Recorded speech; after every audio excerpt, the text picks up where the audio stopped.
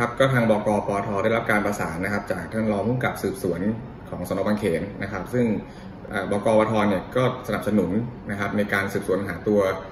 บุคคลที่เกี่ยวข้องทั้งหมดอยู่แล้วนะครับ ซึ่งทางท่านผู้กำกับการปอทได้สั่งการมานะครับ ให้กองกำกับการสามดำเนินการนะครับ ทีนี้ข้อมูลเกี่ยวกับคลิปเนี่ยมันจะมีอยู่สองส่วนนะครับ คือร่องรอยในภาคพื้นดินนะครับ ทางสนบางเขนก็จะได้ดำเนินการไปนะครับ ซึ่งตอนนี้ทราบว่าก็ได้ข้อมูลมาเยอะแล้ว ส่วน ข้อมูลทางอากาศหรือที่เกี่ยวข้องกับโซเชียลมีเดียหรือเว็บไซต์ต่างๆ ทางปอทก็กำลังสืบสวนหาตัวอยู่นะครับซึ่งจริงๆเนี่ยการกระทำในลักษณะนี้นะครับ เริ่มมีคนทำเริ่มมีคนเรียนแบบเยอะนะครับคือทำลักษณะเหมือนยูทูบเบอร์แต่นนี้เรียกว่าพรฮับเบอร์นะครับก็คือการเอาตัวเองไปแสดงนะครับภาพหรือคลิปลามกอนาจารนะครับ โดยใช้วิธีการหรือเนื้อหาแปลกๆนะครับ จากเดิมเนี่ยอาจจะมีเพศสัมพันธ์กันในห้อง ในบนเตียงอือฮึก็เปลี่ยนเป็นกลางแจ้งสถานนะคที่รับหรือสถานที่ที่มันดูหวือหวานะครับ จากนั้นเนี่ยก็จะไปโพสต์ในเว็บไซต์นะครับที่เอ่อมีคนติดตามเยอะๆแล้วถ้าอยากจะดูเนี่ยก็ต้องมีการเสียเงิน แล้วคนพวกเนี้ยก็จะได้เงินจากการทำลักษณะนี้ ซึ่งจริงๆเนี่ย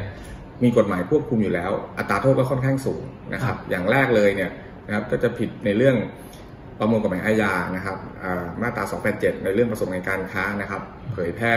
ข้อมูลลามกอะไรต่างๆ ซึ่งอัตราโทษเนี่ยจำคุกไม่เกิน 3 ปี ปรับไม่เกิน 60,000 บาทนะครับ รวมถึงพรบคอมพิวเตอร์ มาตรา 14วงเล็บ4นะครับนำเข้าข้อมูลลักษณะลามก เข้าสู่ระบบคอมพิวเตอร์นะครับวันนี้อัตราโทษจำคุกไม่เกิน 5 ปีปรับไม่เกิน 1 0 0 0 0แสนบาทนะครับ รวมถึงการที่มีเพศสัมพันธ์ในที่สาธารณะที่โล่งแจ้งเนี่ยมันก็จะผิดนะครับในเรื่อง กระทำขายหน้าต่อธารกำนันนะครับอ่าเป็นเกี่ยวกับเรื่องลามกอนาจารนี่ก็อัตราโทษปรับไม่เกิน5,000 บาทนะครับ อยากจะฝากเตือนว่าคนที่คิดจะทำนะครับ อย่าทำเลยเพราะกฎหมายมีควบคุมและกฎหมายค่อนข้างแรงนะครับ แล้วการสืบสวนหาตัวเนี่ยก็ไม่ใช่เรื่องยากอะไรนะครับ อย่างเช่น ปีแล้วที่มีคลิป มีการมีเพศสัมพันธ์ที่ห้างสรรพสินค้าแห่งหนึ่งนะครับ ใน shelf วางของนั่นเราก็จับตัวเว็บไซต์ดำเนินคดีนะครับ แล้วก็ฝากสุดท้ายอยากจะฝากถึงพี่น้องประชาชนที่ มีความเอ่ออยากรู้สึกว่าส่งต่อข้อมูลที่มีลักษณะลามกให้ครัพับกพวกเพื่อนฝูงในโซเชียลมีเดียอันนี้ก็ต้องระวังเพราะว่า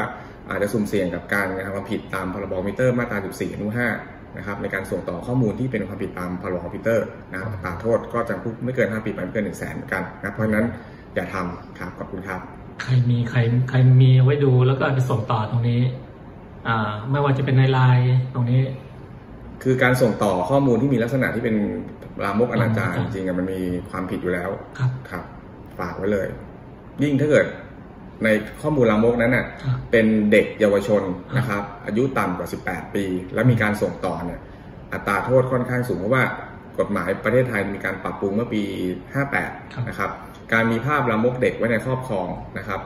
ก็ผิดแล้วนะครับจำคุกไม่เกิน 5 ปีอืมถ้าส่งต่อ นะครับก็จะเพิ่มอัตราโทษเป็น 7 ปี เพราะฉะนั้นถ้าส่งต่อข้อมูลที่เป็นภาพลามกอนาจารเด็ก อันนี้น่าเป็นห่วงก็จะถูกดำเนินคดีเนี่ยอัตราโทษที่ค่อนข้างสูงครับได้ขอบคุณมากครับครับขอบคุณครับ